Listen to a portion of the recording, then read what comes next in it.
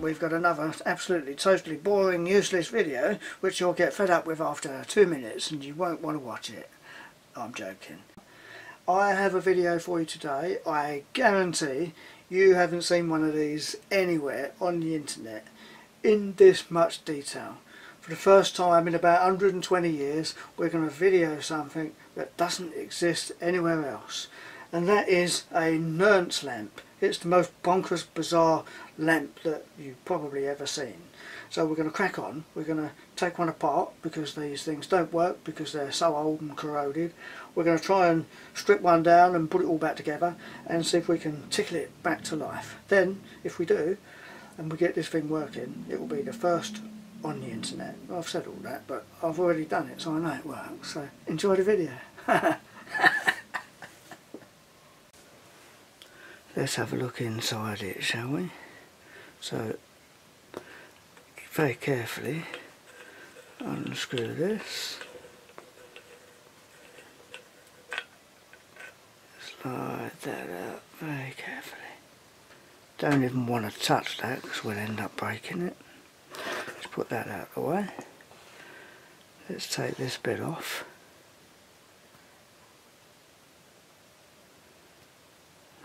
There we.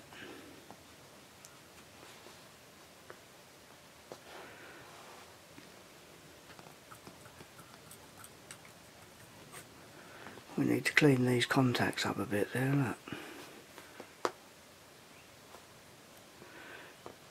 Right, let's give it a bit of a, a clean up. Yeah, that's a proper bad connection on there, isn't it? Let's do something with that. So that's quite a few bits and pieces just for a light bulb. So I need to clean all these bits and pieces up, put it all back together and see what happens. It's old and it's quite corroded. There's a tiny little contact on this. Need to clean that up right on the end.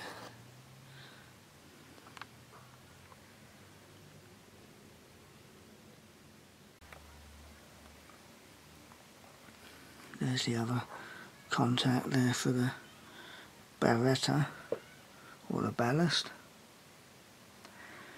I've done this one a little bit to improve it.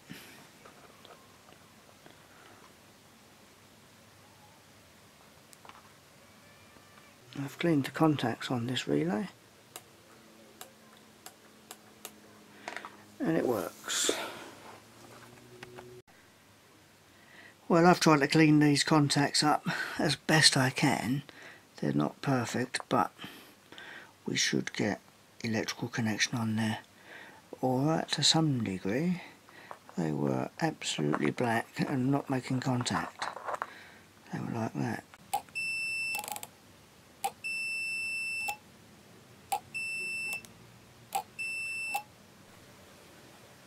Well the relay's working. Let's get a shot from the other side.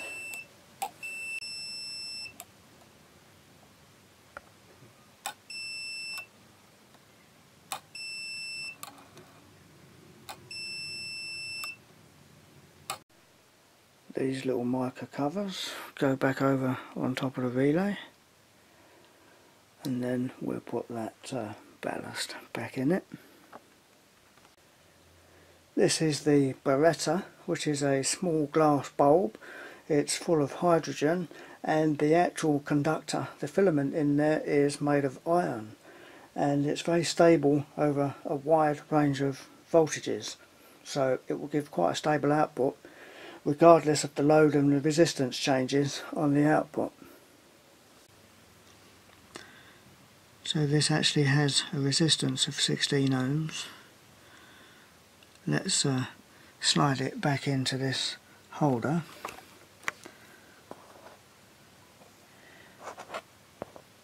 Got some sort of reasonable connection there. Good, so we've got the relay in that base which works. All the contacts are cleaned up. That barretter is back in its holder. So now, if we put that uh, heater and glower back on the top I wonder what will happen this is the circuit for the lamps this glower doesn't actually pass electricity until it gets hot so this heater has to heat it first before current will pass through this and emit light. So initially the power comes in it goes through these contacts on the relay that are normally closed through the heater. Heater heats up. Now the glower will start to pass electricity as it gets hot. So as it does so power then begins to flow through this relay coil through this barretter which is our resistor and now we've got a small current flow through the glower now this relay has a small magnetic field going through it because we've got some current going through the glower. And in turn this contact opens. So now the heater becomes out of circuit. It's quite straightforward really isn't it? Here's a nice close-up of the heater and the actual glower which is the emitter so we've got the spiral bit which is the actual heater and inside there we've got platinum wire coiled around some asbestos rope or cotton and then that's dipped in some oxide so it can't uh, vaporize and oxidize any further because it's already an oxide. And it's the same with the actual emitter or the glower in the middle. That's made of zirconium oxide there's no wire in it and it doesn't conduct very well under normal circumstances until it's heated. Once it's heated then electricity will start to pass through it and obviously it glows red hot as it does so and that's the actual light output. That tiny straight bar in the middle that is the glower. That's the bit what gives us the light. These coils just heat it temporarily and then they switch off. These things are incredibly fragile. If you sneezed on it, you'd probably break it. But I have repaired these before because you can get on the little connections and remake some uh, wire connections if you have to, but it's incredibly fiddly. So this is the risky bit. Should I risk powering it up? These things are hideously expensive. They're rare and nobody's ever been brave enough or perhaps stupid enough to risk powering one up inside the lamp um, because it uh, could easily be destroyed. But this is Photonic Induction's channel and I think if I didn't attempt it that would be a waste. So for you good people I'm going to take this risk. I think we'll uh, have a go at powering it up. We've certainly got the equipment. I'm sure we've got the skills. Let's do it.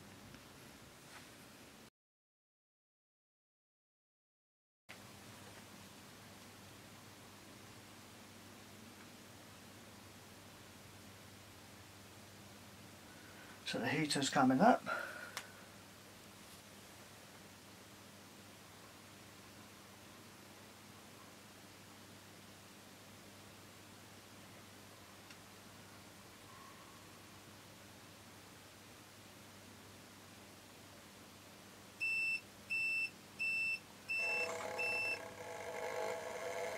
That's the relay. And she's on. Very good.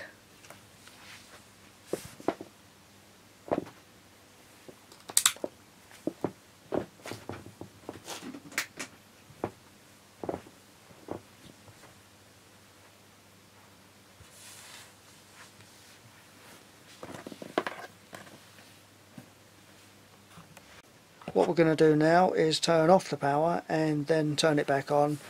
We can see the glower extinguish. The relay has now set back to its parking position to normally closed. When we put the power back on now the heater comes on until the glower starts to conduct. When the glower conducts then the uh, relay opens its circuit and the heater goes off. Heater's coming up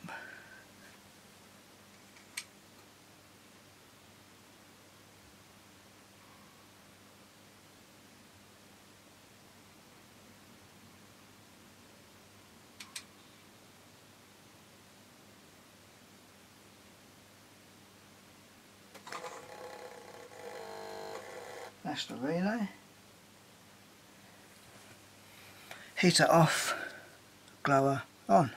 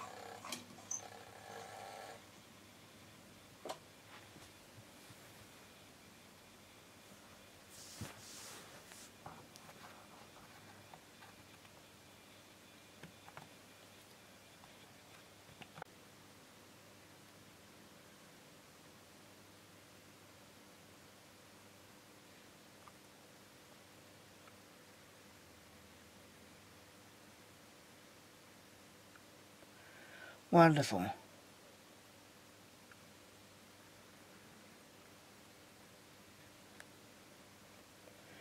That is a very nice light.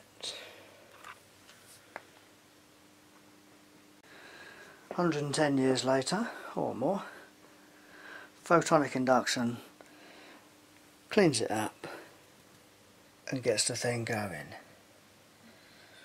That's not bad. It's quite bright really.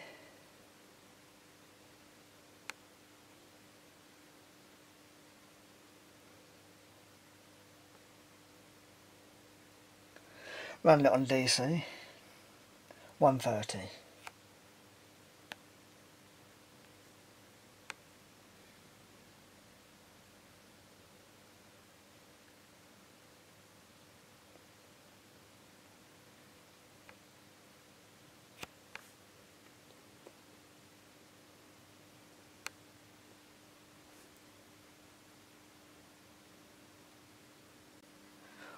This is purely the light from this Nernst lamp.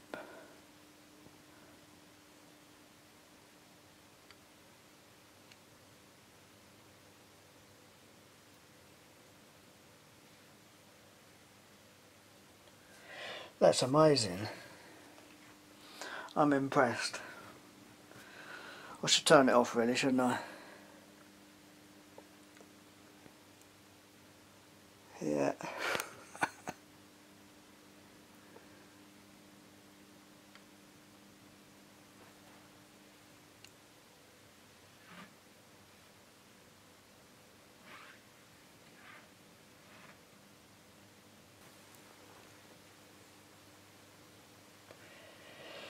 That is super rare. Let's take this off.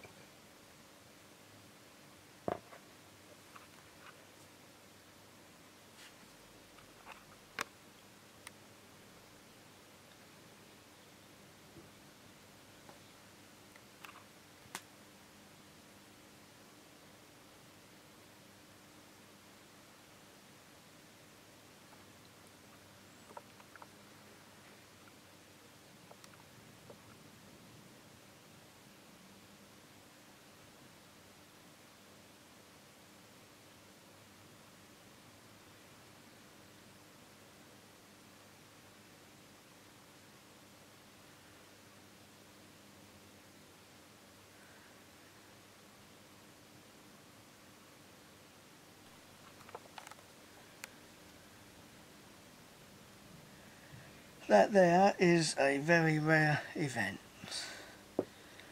Nernst lamp working.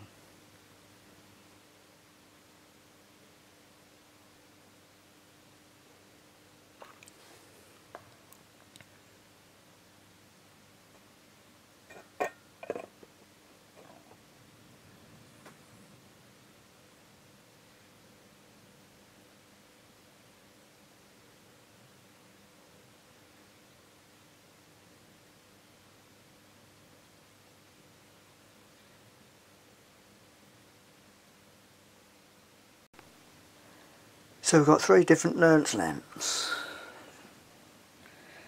We know this is DC because one pin is slightly higher than the other and it should have had a little pip at the side so you can't insert it the wrong way round.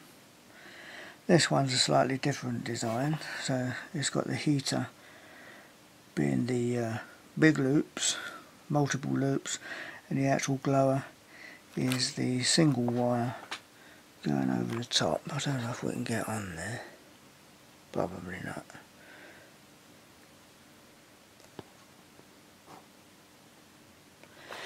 This one doesn't work anymore. The heater and glower is uh, totally had it, so I cheated and I put a halogen bulb in that one. But the ballast and relay still works. So three different types, and at least uh, we've seen one working at least. So you can get clear ones, frosted ones, pearl ones. Um, just put it on there very carefully. So it goes in there and a little twist and the little clip goes up. He says to hold it in there.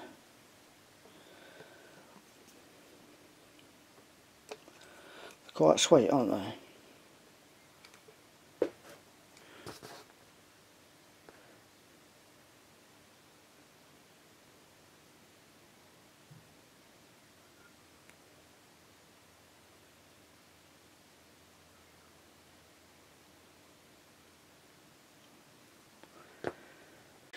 just let me know when you're getting bored with videos and I'll stop doing them. There's not much chance of that is there? I hope you did find that interesting. It's very rare and it's documented and now it's on the internet and everybody can see it. Otherwise these things just sit in a box and they're never going to be seen. So that's why I like YouTube as well because I can put it on the internet and we can all share these wonderful things. I know not everybody thinks these things are wonderful but you know, it's nice, isn't it? I have to confess, even for me, that was quite an honour and a privilege to actually see one of those Nernst lamps operate as it should do because as I say that is such a rare thing to see whether all intact and working. It's just unbelievable really. But I'm glad I shared it and I hope you enjoyed it. There is always more where that come from. I will see you very very soon. Thank you very much for watching. Bye bye.